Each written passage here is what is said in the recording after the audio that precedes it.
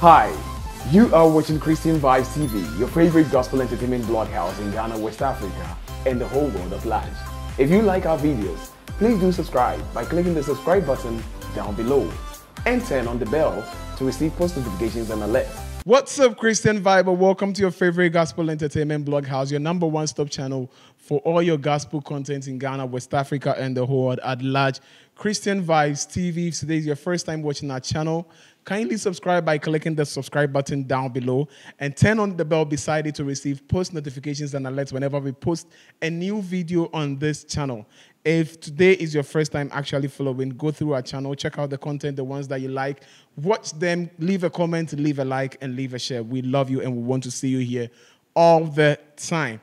So there is this story that I have come across on social media and it has really inspired me today and i really want to share with you. One thing that most of us do not know that or one thing that most people understand that fatherhood is one of the most priceless um, parts of life that every man would want to go through. But what happens when a father when a father do not or do not receive the expected um, lifestyle or but a father do not um, get to see the expected lifestyle he had meted into his or her son or daughter um, for so long. Um, it, there has been certain conversations about a specific son of a man of God who um, has been in the news, especially in Ghanaian social media news and Ghanaian um, conversations, internet conversations, for a long time. That this guy is really, really putting his father's name in disdain. Um, also, for the fact that his father is one of the most prominent men of God in the country, and this young man is seen all over social media doing stuff that do not um, speak well of the morals or the teachings that his father has been putting out there. In another way, too, some people will say that um, the story of this young boy is, in a way, to help us Christians understand that not all of us are going to have everything as perfect as we wish it to be. But today I've come across an article or a publication about this particular young man, that is Daniel Duncan Williams, son of Archbishop Duncan Williams of the Action Chapel International Ghana. And that article has really, really inspired me and changed my whole perspective about how this young man is living his life in Ghana and on social media. Um, let's kindly check out some of the things that were written. So, this article or this write up was put up on Facebook of by a guy named Samuel Solomon. I presume Samuel Solomon is a Nigerian, and according to the story, he came to Ghana for some time, and something that he saw changed his perspective. And so I want to read what Samuel Solomon had encountered, and let's see what you also think about it. So this is a, a story according to Samuel Solomon. He said, "Do you know why I love the Archbishop Duncan Williams of Ghana?" I was home one day just minding my business when my pastor friend, he mentioned his pastor friend's name, Eric, called me to come to Action Chapel for one of their evening services. So Action Chapel is the, um, how do you call it? The prayer cathedral. I think probably it will be the prayer cathedral, which is the headquarters of the Action Chapel International. And he said, when he called me for one of their evening service, back then I said to myself, I said to me and myself that I am not going to any church. And so I said no. However, I somehow went and the ushers directed me to the front row. It's as though they were expecting me. Anyone who has been to the Action Chapel or the Prayer Cathedral will testify to the, this thing that this guy is saying here that when you go to the Action Chapel Prayer Cathedral, my goodness, how the ushers treat you in that church. It's like they've been expecting you to come to the church. Bro, it's so beautiful. It's so beautiful. I was there last year, you know, for the Impact 2023. And from what I saw and witnessed, how the ushers over there treated people who came for the event. My goodness. It's like they've been expecting you, oh, welcome, oh, prodigal son, we love you. We, you get you get that vibe, but we are not prodigal sons, you know. Yeah. That was just by the way. So he says that it's as though they were expecting me, man of the worship, man so he says, man, the worship was one for me, and it was, he said, I felt like I was in America, but I noticed that every chair on the pulpit had people sitting on them except one chair. So I asked my pastor friend Eric, bro, that chair is empty, and why is it empty? So this guy is saying, like, when he went to the Action Chapel, the prayer cathedral, the service over there was so beautiful. The ambience, the auditorium, the ministrations, and whatever in the auditorium made it feel like um, he was a church. He was in a church in America. And just as I said, if you've actually been in the Action Chapel, the prayer cathedral on the Spintex Road before, bro, you understand what this guy is saying. That the church, the ministrations in the church, the presence the ambience, the aura over there is so beautiful and so welcoming, you know. Yeah. So let's continue. So he said he asked his friend, like, on the pulpit, there were several chairs arranged over the beautiful ones, and people were seated on all of them. But then there was a particular chair that nobody was sitting in it. And so he asked his pastor friend Eric, why is nobody sitting in that chair? Or why is that chair empty? And he told me that that is Daniel's chair when he's not around, nobody sits on it. And I was like, Is it the Daniel that I know? He said, Yes. So this is where my conversation comes up in that people will know you by a particular name, but God does not know you by that name, you know.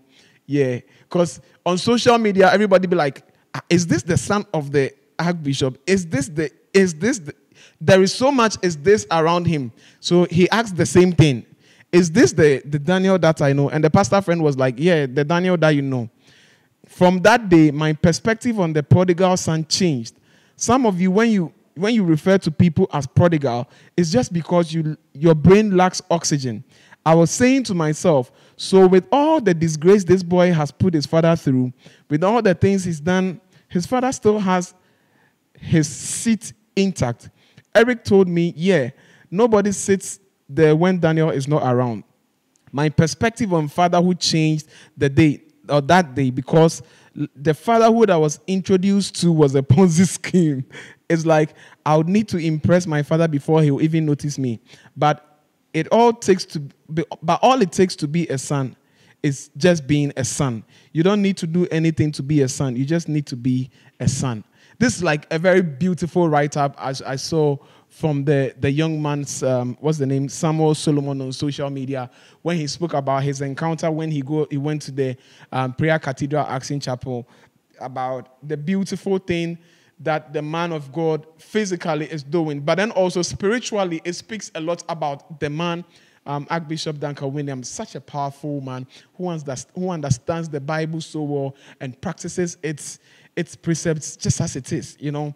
Um, a prodigal son. I mean, people will call or so called. I don't want to tag him with that name because I personally like the Wills. I, I, I listen to his ministrations and I love his songs. Um, recently, I've seen his his new single he's about to release trending on TikTok. It's such a beautiful. I think yeah, I will we'll play we'll play in the in the video for you to see. Such a beautiful song he's about to release, and that guy.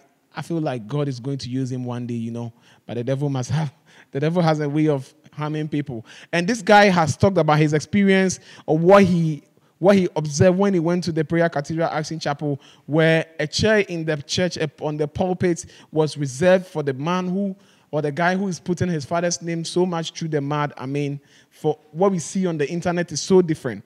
But then this is something that someone has observed and is talking about.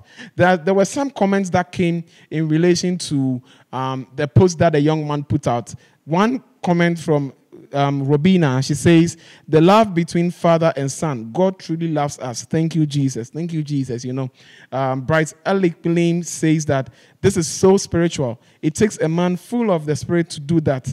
That, that is a man of faith. Um, another person says that I had the chance to listen to this guy eight minutes preaching on Titan, and I bet you everyone was on their feet before he finished. The guy is loaded. Like I said earlier, Daniel is really, really, really intelligent. He's he's there. You, you know, he's that guy that God, I feel like God is going to use him one day, but we don't know the reason why. But we pray that God brings him on track in the right time. And so, yeah, this has been some of the comments that has been spoken about on social media with respect to um, D. Wills, son of Archbishop Duncan Williams, and it was such a beautiful inspiration. And I feel like I should share with you for us to understand that, in as much as we feel like we are lost or we have broken our way from God, He still has a place for us let's use what Archbishop Duncan Williams is doing in his church to to understand or to help us understand that in everything that we do, God loves us. And the only thing that we have to do is to surrender. Surrender ourselves to Him. Just confess God, I am a sinner. God, I pray that you will forgive me my sins. And God is just and able to do that. He's calling us every day to come into His fold. It does not matter who you are, it does not matter what you have done. God does not look into the things you have done because He created us. He knows our hearts more than we do, and He knows what He wants for us or what He wills for us. And so, come as you are. There's a song that says, Just as I am without one plea, you know, we, we come as we are. O Lamb of God, I come, I come. Let us profess and confess to to the living God that He is the one who created us and He is going to see us through the valleys of the shadows of the devil. My name has been Neza Brown, and this is Christian Vibes TV, your preferred Christian entertainment hub. Subscribe to our channel and catch you next time on our next episode.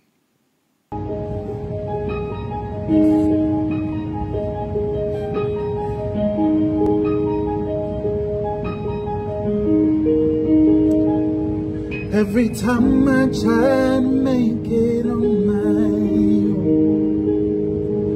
Every time I try to stand I start to fall And all those lonely roads that I have traveled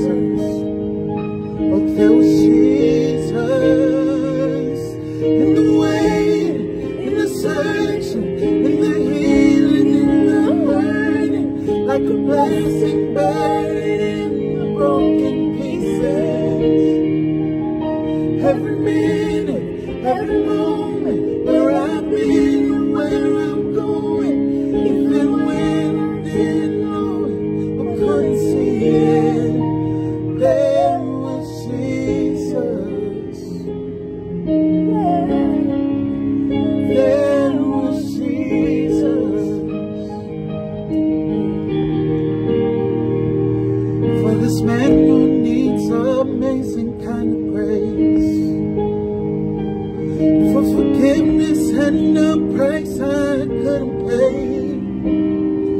Oh, I'm not perfect, so I thank God every day. There was Jesus